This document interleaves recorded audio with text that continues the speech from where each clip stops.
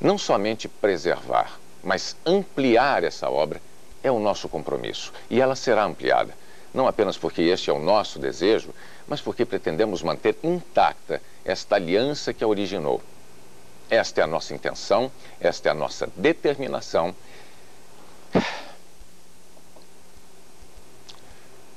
Este é o nosso compromisso. Eu vou concluir. Assina uma carta Roberto Irineu, João Roberto e José Roberto Marinho. Até amanhã.